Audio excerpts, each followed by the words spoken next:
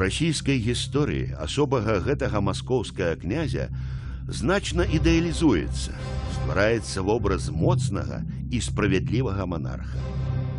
І гэта нягледзячы на тое, што час ягонага панавання стаў эпохай тэрору і катаванняў для ўласнага народу. За што у тагачаснай Еўропе ён і атрымаў мянушку жахлівы. І ў гісторыю беларуска-літоўскага гаспадарства маскоўскі князь Іван IV увайшоў як кат і забойца. Калі гаварыць пра асобу Івана IV, то міт, дарэчы, неадэкватны міт пра яго вялікасць, пра мудрасць, прадукаванасць стварыўся ў расійскай гістарыграфіі ўжо 19 стагоддзі. Але ўжо ў 19 стагоддзі гэты міф разумныя гісторыкі просто ліквідоўвалі. Вот что писал про его Николай Костомаров. Чудовище, которое лжет в каждом слове.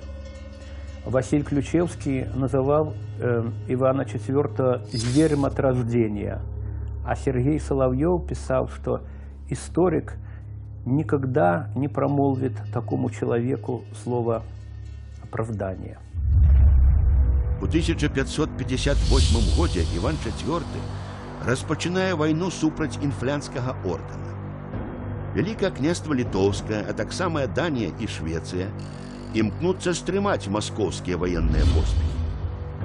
Паводле падпісанага пагаднення уладанні ордана ў інфлянтах пераходзіць пад пратэктарат вялікага княства.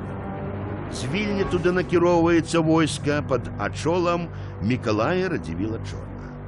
У адказ Іван IV распачынае вайну супраць вялікага княства, якая пад пяром гісторыкаў атрымала назву інфлянскай.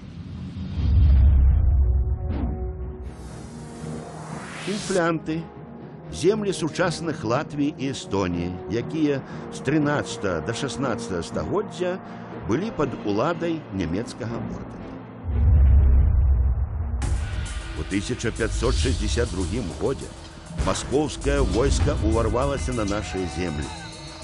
Царскія ваяводы пустошаць ваколіцы Мсціслава, Дуброўні, Попыці, Оршы, Шклова ды Віцебска.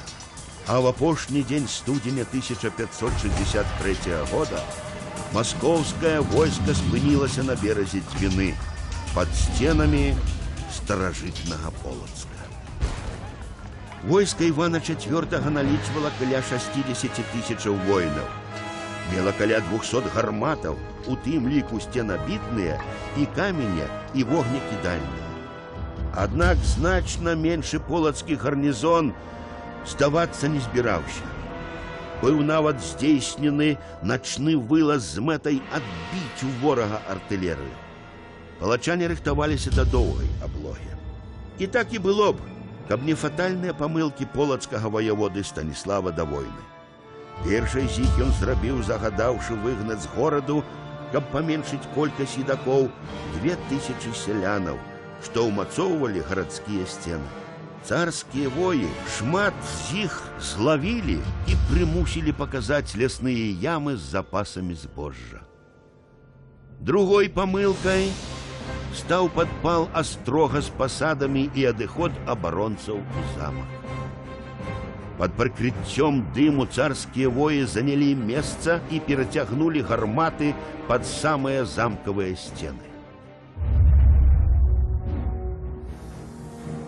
15 лютага 1563 года пасля двух тыдняў аблогі маскоўскае войска захапіла Полацк.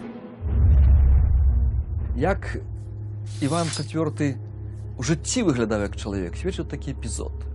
Ён зашоў у храм, узяў у руки знакаміты крыж Ефросіні Полацкай, рэліквы Беларусі а на адвароце там напісаны праклёны пададзены таму, хто насмеліцца забраць гэтую святыню з храма вынесці. Іван IV, акрамя таго, што быў садыстам, ён быў яшчэ вельмі набожным чалавекам, такое часам здараецца. Ён, прачытаўшы праклёны ў жаху кінуў ты крыж і выбег з храма.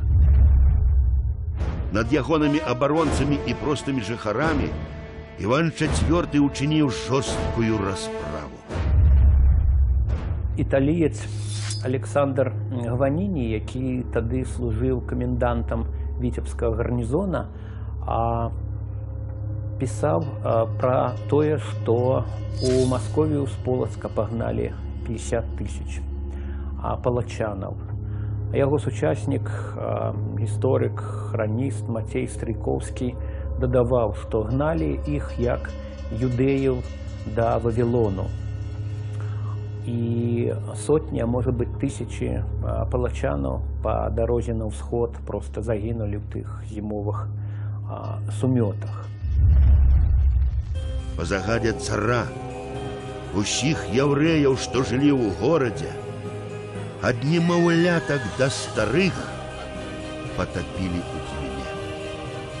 Таксама Іван IV загадаў без разбору забіваць усіх неправаслаўных. Монахи Бернардины и браты Доминикане загинули под шаблями царских воев. Зверствуешь и гвалт, что чинили московские стрельцы не по загаде, а по уласным жаданням, не поддаются лечению. С падзеямі інфлянскай вайны звязаная одна з полацкіх таямніцаў і я б сказаў трагедый. Якраз у часы таго лихалецця знікла славутая бібліятэка полацкага сафійскага сабора, заснаваная яшчэ у часы князя Ізіслава і Эфрасіні полацкай. На сённяшні дзень вядома толькі 11 кнігаў з таго збору, які налічваў тысячы і манускрыптаў і друкаваных выданняў. Магчыма, якраз тады загінулі рукапісы, якія налезалі перу самой ефрасіні полацкай. Магчыма, якраз тады згарэў адзін са спісаў полацка летапісу.